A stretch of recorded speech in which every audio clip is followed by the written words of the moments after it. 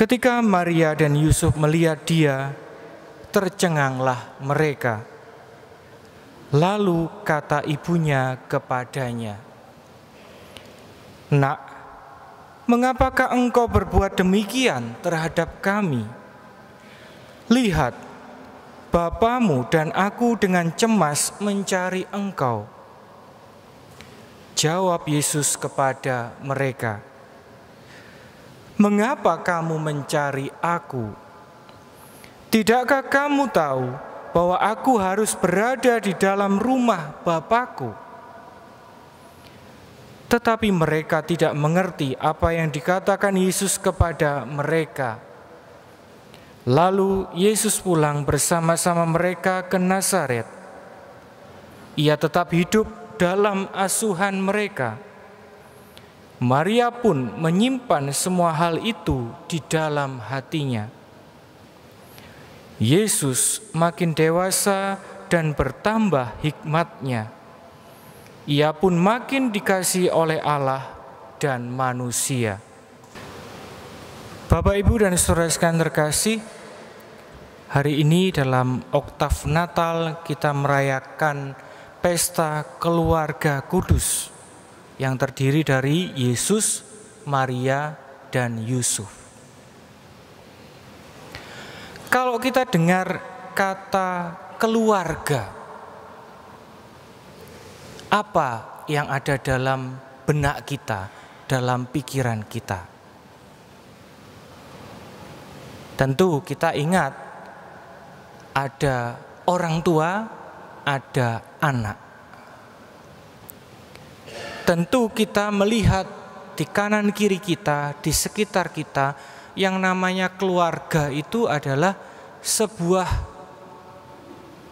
komunitas kecil di mana terdiri dari ada bapaknya, ada ibunya, ada anaknya. Tetapi kalau kita lihat lebih jauh apa yang terjadi dewasa ini, kalau ada yang bertanya, loh hari gini kok masih single? Kapan berkeluarga? Atau di sisi lain ada pertanyaan, loh istrinya ke mana? Atau loh suaminya ke mana?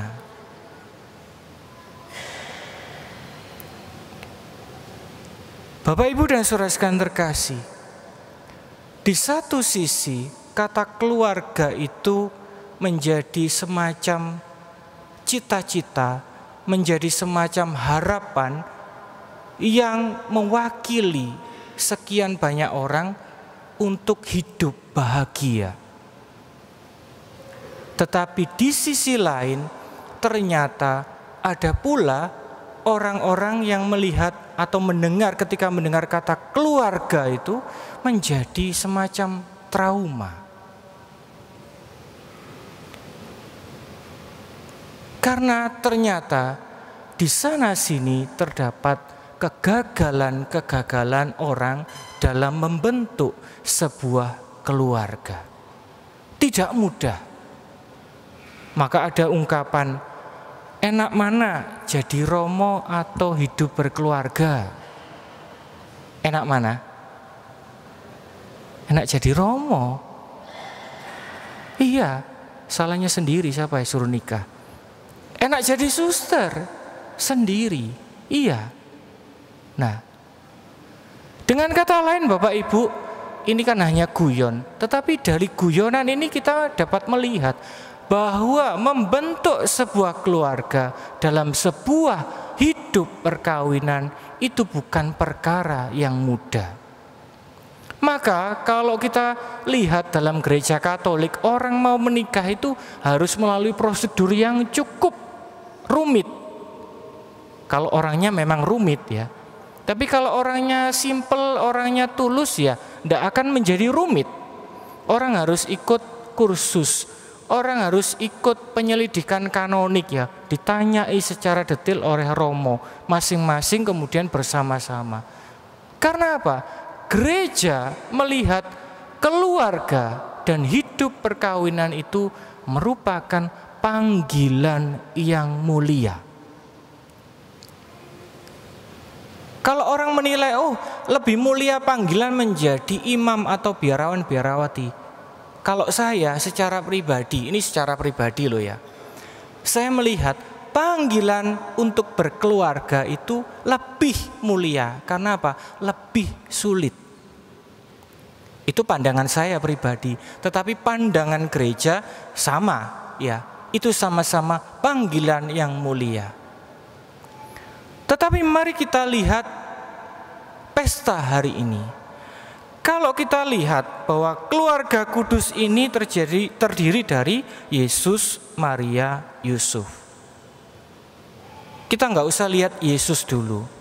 Kita lihat Maria. Maria pada awal mulanya dipanggil Tuhan melalui kabar gembira malaikat Gabriel untuk mengandung Yesus mengandung dari Roh Kudus. Dia belum menikah. Dan itu merupakan aib pada zaman itu kalau orang itu mengandung tapi belum menikah. Ya seharusnya juga menjadi aib bagi zaman sekarang ya, tetapi rupanya itu lama kelamaan nggak jadi aib ya, biasa ya. Nah, tapi kalau dulu itu aib, masalah.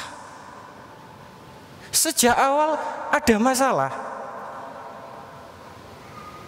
Tapi kemudian apa yang terjadi? Maria dengan segala ketulusannya, dengan segala keterbukaan hatinya, itu mau menjawab, aku ini hamba Tuhan, terjadilah padaku menurut perkataanmu. Ya, dia menjawab, iya, aku mau ikut rencana Tuhan. Kemudian kita lihat Yusuf. Apa yang terjadi dengan Yusuf? Dia melihat kejadian ini sebagai masalah juga. Akhirnya apa? Dia hendak meninggalkan Maria. Tetapi ketika dia tidur bermimpi kemudian diberi petunjuk, ya, dia kemudian diminta untuk tidak ragu mengambil Maria sebagai istri. masalah. Kemudian dalam perjalanan mereka juga ada banyak masalah. Mungkin Injil tidak menceritakan secara detail. Selama 33 tahun ya mengasuh Yesus itu itu tidak mudah dan contohnya adalah Injil hari ini. Yesus ternyata juga masa kanak-kanaknya agak nakal ya dalam tanda kutip. Tetapi nakalnya itu bukan nakal yang bagaimana. Dia itu tadi hilang atau menghilang, memisahkan diri dari rombongan keluarganya. Dan dia itu ternyata ada di bait Allah. Dan ketika ditegur oleh ibunya, "Nak, mengapa engkau berbuat demikian terhadap kami?" Jawabnya apa? Mengapa kamu mencari aku ya? Coba Bapak Ibu kalau cari anaknya yang hilang ya, dua blok begitu ya. Kemudian kamu tuh loh kok ngerepoti ya? Ngapain cari aku? Paling apa? Marah. Paling apa? Ngomel. Dicubit anaknya. Atau bahkan ada yang tega sampai nampar ya ini anak kok disayang, diperhatikan kok seperti ini ya. Nah, intinya apa Bapak Ibu? Bahwa keluarga yang disebut keluarga kudus ini pun itu kalau kita lihat itu bukan keluarga yang sempurna. Bukan keluarga yang tanpa masalah. Bukan keluarga yang enak-enak saja, lancar-lancar saja karena sebetulnya sejak awal mula mereka itu penuh dengan masalah. Tapi perlu dilihat masalahnya ini bukan masalah yang mereka buat. Tetapi mereka menerima beban dalam arti tertentu itu merupakan bagian dari panggilan mereka ke arah kekudusan. Maka dalam hal ini apa sih arti menjadi kudus. Jadi kalau keluarga yaitu komunitas kecil, kudus. Mereka kenapa disebut kudus? Bapak Ibu dan Saudara sekalian terkasih, kalau kita lihat tadi bacaan pertama, juga bacaan kedua, nadanya sama, yaitu menyadarkan kita bahwa kita setiap saat itu dipanggil untuk menjadi dekat dengan Tuhan, mendengarkan Dia, dan melakukan apa yang Dia kehendaki dalam hidup kita. Kita dipanggil untuk dekat dengan Dia. Kita dipanggil untuk menjadi kudus. Dan menjadi kudus itu bukan berarti enak-enakan. Menjadi kudus berarti kita berani mengalahkan diri sendiri dan berani memberi tempat seluas-luasnya bagi kehendak Tuhan dalam hidup kita.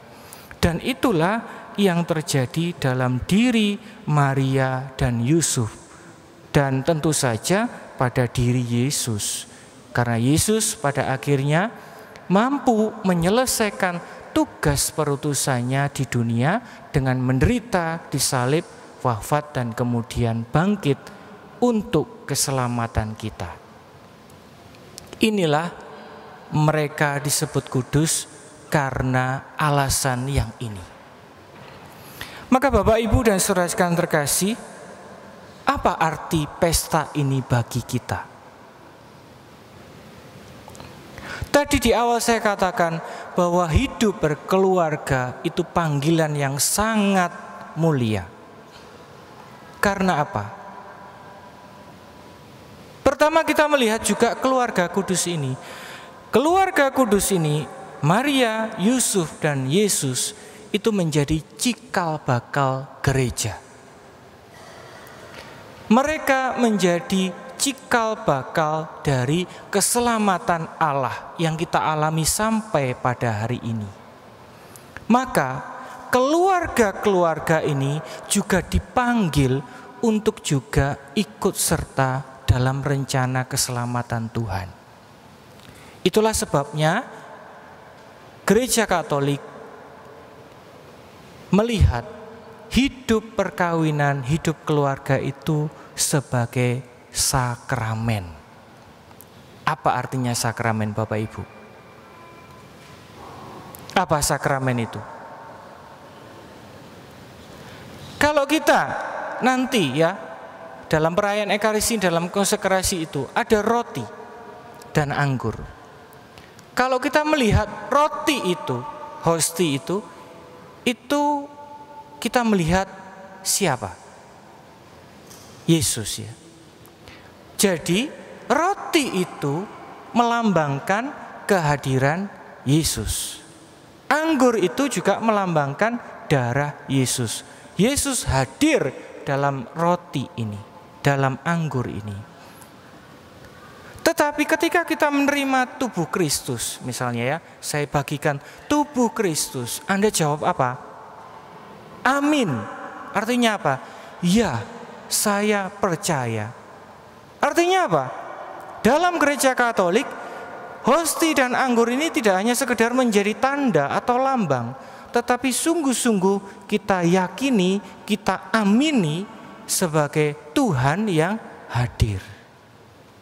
Maka sama, perkawinan itu menjadi sebuah sakramen, artinya harus menjadi tanda sekaligus sarana rahmat Allah. Maka Anda yang memilih untuk hidup dalam sebuah keluarga harus ingat ini, panggilan ini. Menjadi kudus itu bukannya soal menjadi suci, murni, tanpa celah, begitu tidak. Tapi menjadi kudus seperti bacaan-bacaan yang kita dengar hari ini adalah ketika kita mau dan mampu menjawabi panggilan Tuhan. Menjawabi tugas panggilan yang sudah Tuhan berikan kepada kita. Kalau Anda sebagai orang tua, sebagai suami, sebagai istri, sebagai anak, maka bertindaklah sebagai orang tua yang baik, sebagai istri yang baik, sebagai suami yang baik, yang bertanggung jawab, dan juga sebagai anak yang baik. Hanya dengan cara itulah kita bisa sungguh-sungguh menjadi tanda kehadiran Allah sekaligus sarana kehadiran Allah, rahmat Allah bagi orang lain.